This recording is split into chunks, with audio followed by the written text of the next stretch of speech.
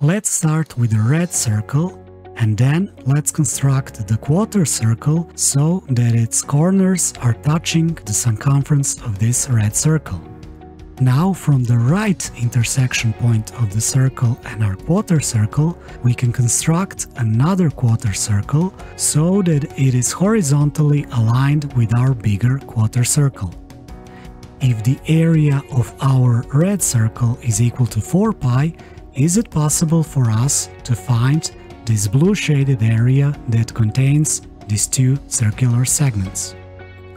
If you want to try this problem for yourself, you can pause the video right now and then come back to see the solution. Alright, let's get to the solution. I will solve this particular problem by using two different methods. Let's start with the first method, the method of inscribed angle theorem. We will start by marking the points of intersection between circle and our quarter circle as A, B and C. We can also mark the bottom point of intersection between those two as D. Now we will mark the center of these two circular segments as O. Now from the point O we can pull the radius of our bigger quarter circle.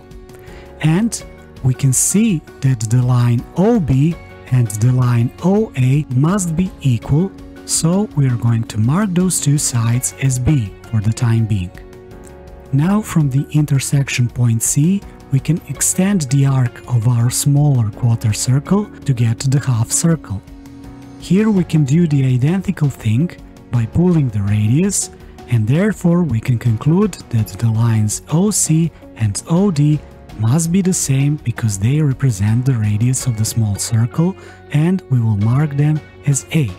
Now, we can pull the line from the point A to the point B and we can notice that we will get this right isosceles triangle AOB.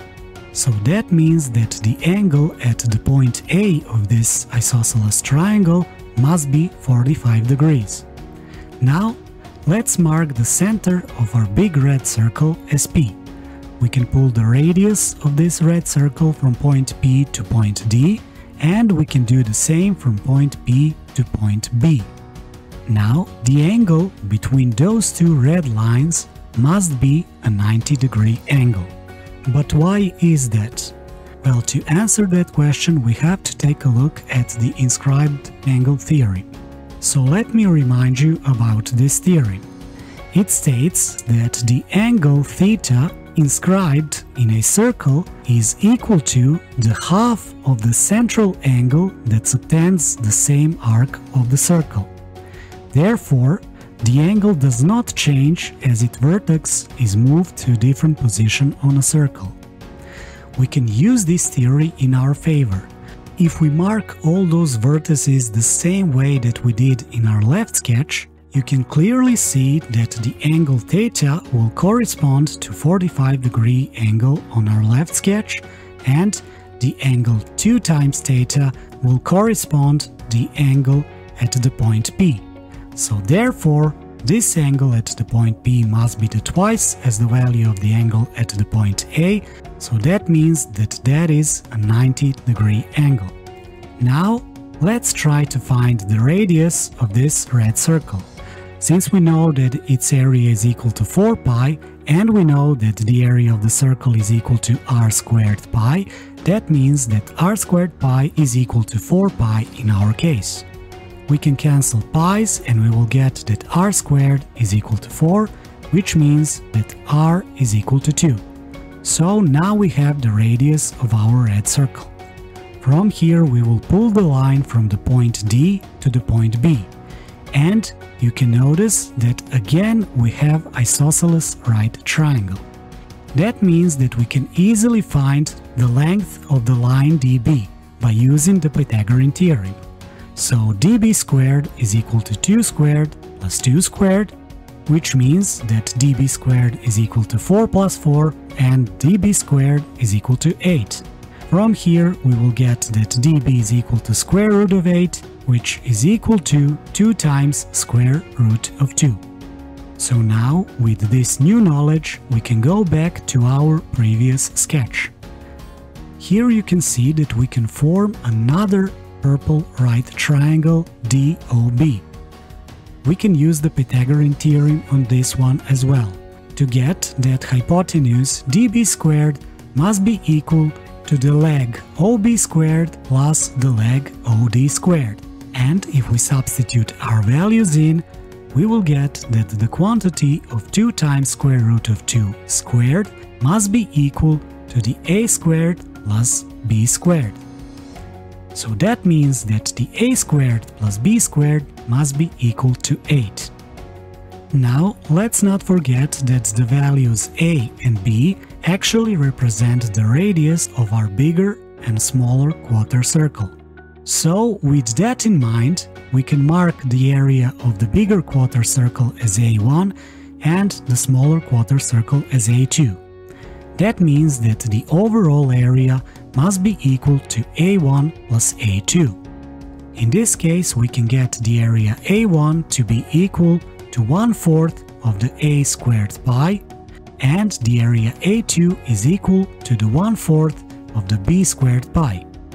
Now, if we substitute those values in our previous equation, we will get the following. Here we can see that 1 over 4 pi is a common factor for these two terms, so we can simplify as following. Now we can substitute the value of a squared plus b squared that we got before, and we will get that the blue area is equal to 1 over 4 pi times 8, and that means that the blue area is equal to 2 pi. Of course, we can approximate this to 6.28 squared units and this is our solution. Now let me show you a different method to solve this problem. Let's look at this problem as an arbitrary problem. First, let us mark the intersection points as A, B and C as before. And let's mark the center of the red circle as P and the center of these two circular segments as O. Now you can probably see that the point C of the intersection is an arbitrary point, because it only depends upon the dimensions of this big red circle and the quarter circle. So that means that we can play around a little bit. We can say that this red line represents the radius of our big red circle and we can try to shrink this bigger quarter circle so that its radius is actually the same as the radius of our big red circle. We can now do the same thing for our smaller quarter circle because it has to be constructed from the point C. Now you can see that we have formed the half circle with the same radius as our big red circle. So if we slide this half circle to our red circle, you can see that its area must be equal to the half of the area of our red circle. Since we know that the area of the red circle is equal to 4 pi, we can just substitute that value in and we will get that our blue shaded area must be equal to 2 pi, which is approximately 6.28 squared units and again we have our solution. Is this method a cool way to solve this problem? Well, yes, but the question is, is it more fun than the method number one? For me personally, I prefer method number one, because I had more fun with it. But what do you guys think? Leave me your opinion in the comment section below, and if you enjoyed the video, leave a like and subscribe to the channel for more content. And of course, until next time, see you guys and take care.